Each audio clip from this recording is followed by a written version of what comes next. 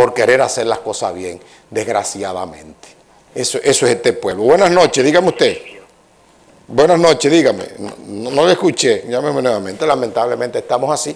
Usted sabe lo que yo venir, venir eh, hacia el trabajo y esperar que un pendejo entre una, una vaina llena de, materiales en reversa. Y ahí mismo hay una ferretería que los eh, vehículos duran 10 minutos, con un tapón de 10 minutos en una vía principal, entrando cemento. Si hubiera aquí autoridad, le ponen una multa a la compañía, se llevan la cola o la patana con todo y cemento y la dejamos trancada ahí en, la, cuestión esta de la vaina del Intran, que no tiene ni siquiera parqueo, esa, ese, ese cuchillo. buenas noches, dígame. Pero aquí no hay, aquí no hay autoridad. Este pueblo está huérfano. Buenas noches, hermano. Si me pudiera bajar el teléfono, el televisor, te lo voy a agradecer para aprovechar tu llamadita. Sí, dígame.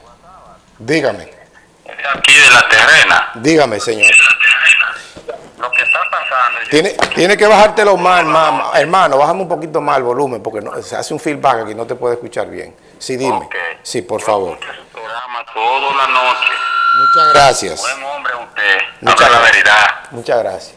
Pero mire, lo que está pasando aquí es que Luis Abinader tiene que ponerse un poquito más los pantalones, porque que ese, ah, como ella hablaba en el programa de su gobierno, antes de ser presidente, él no es el mismo Luis Abinader de hoy.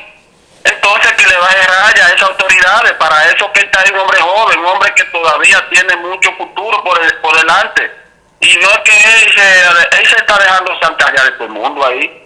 Ese no es Luis, Luis Abinader que hablaba en la, en, con los pies cruzados, en, eh, con Guillermo Gómez en esos programas de gobierno, hablando bien y ahora se ha vuelto disparate. Este que justo todavía la fecha, Guasábara, ocho meses, y todo empleado del PLD ahí todavía. Es una falta de respeto. Y la base del partido, llevándolo al diablo, que sudamos, correteando, con bandera, para hoy llevarlo ahí, hoy se ha olvidado de, de, nuestro, de nuestra base de partido, con todos esos PLD ahí cobrando. Es una falta de respeto. Y todos esos militares que son del PLD están puestos ahí todavía. Lo tienen en, el medio a Yo no entiendo. Por eso que que el gobierno de nosotros más gobierna cuatro años. Y muchas gracias, Guasábara. Muchas gracias. Muy bien, muy bien. Es Pitágoras, sí, pero así vamos a hacer. Eso es, eso es lamentablemente lo que tenemos aquí. Y una gente sola que da la cara. Te llama a cualquier funcionario escondido, no cogen teléfono, no lo ve nadie. No a mí, yo no llamo a ninguno, gracias a Dios. No, no, yo, Dios me libre. Ahora, hay una inauguración, hay una feria, eh, van a inaugurar hasta una galería, una panadería. Ahí están tomándose fotos y lo ve todo el mundo. Imagínese usted tener un funcionario nacional como el indigno de Olmedo Cava, lo nombraron ahí como director del INDRI, que era diputado, que a propósito que era por un germano, nadie lo ha vuelto a ver más, manejándose como una gente. Y yo le dije, ese es el precio, usted agarrar a un hombre que no ha vivido nunca aquí, que no le duele esta provincia, y usted sacarle una cédula ahí en la peña para decir que de aquí, hacerlo diputado, que no hizo nunca nada por este pueblo, que no fuera a ir a una entrevista paga, hablar pluma de burro, y entonces usted tener aquí en, este pueblo, un reguero de, funcionarios y de gente que no, no le duele este pueblo. Yo si fueran los regidores, que son muchachos jóvenes, todos del PRM y los demás del PLD y los demás fuerzas aliadas, yo me reuniera y tomara las medidas, porque ¿para qué le aprueban, por ejemplo, a un ayuntamiento 326 millones si no puede tapar cuatro hoyos en una ciudad de recostura? Cierre eso y deje eso, es para su casa, si no sirve para eso. Buenas noches, dígame. Buenas noches, Pitágoras. Sí, dígame.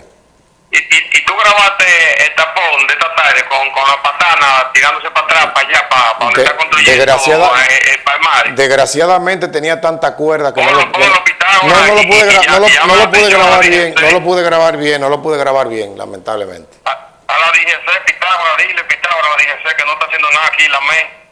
Yo pensaba que ahí debía estar la ME ahí.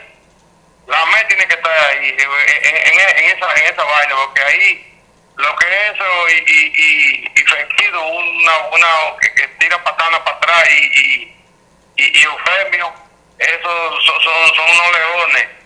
Yo te voy a enviar un video que, que tengo, que yo tengo como cinco minutos, dos patanas corridas Pitágoras, una detrás de otra, dándole para atrás y haciendo un tapón de más de 10 minutos, de 15 minutos, y ese tapón gigante, gigante Pitágoras.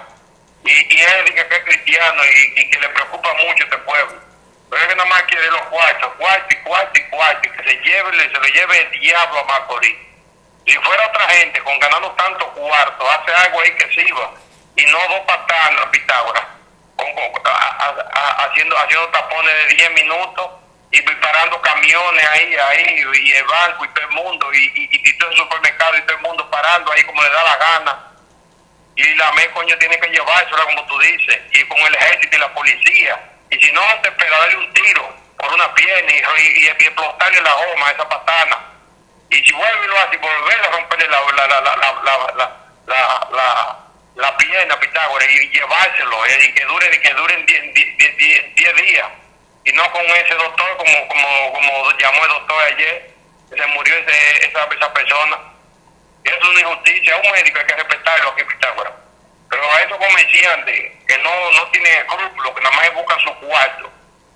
Eh, eh, eso mismo como tú dices Pitágoras de llevárselo llevárselo y meterlo preso y meterle mucha multa mucha multa. Lo puso un, camión otra vez al otro día más multa más multa más multa más multa más multa. Yo fuera el que dirigiera aquí el Intran y dirigiera la DGCET, junto con el Ayuntamiento Obras Públicas, le hacemos una comunicación conjunta a todo el comercio que labora por ahí. El que no tiene que parqueo tiene que destruir y hacerlo. Y si no, no puede nadie parquearme un solo vehículo por ahí. Y vehículo pesado que esté agotando y causando un tapón porque esa persona no haya puesto un parqueo que le quepa el vehículo, nos llevamos el vehículo pesado y le ponemos la primera multa suave de 50 mil pesos al negocio. La segunda de 100 mil se la voy aumentando y poniéndose la de 100 mil en 100 mil. Ya cuando vaya en medio millón, yo creo que ellos buscan una solución para viabilizar el parqueo y para buscarle y resolver su problema. Porque nosotros, por cuatro o cinco comerciantes buenos pendejos que se están haciendo millonarios, no podemos desde que nos amanecemos hasta que llega la noche. Por eso, buenos pendejos, nosotros tener una vida desgraciada y estresada. Eso es una cosa diabólica, eso no hay quien lo aguante. Por eso es que aquí, ojalá interviniera el gobierno y hiciera la famosa circunvalación esa para ver si se desahoga en este pueblo. Porque también se ponen a faltar la entrada aquí y, ni siquiera tiene una pintura. Usted sale de noche y eso es una oscuridad. Y si llueve, eso es, yo les recomiendo que de noche no maneje. Porque se lo puede llevar el diablo hasta usted chocar a uno. Desgraciadamente eso es así. Por eso, por eso este pueblo está así. Esa es la primera parte, el primer tema que teníamos.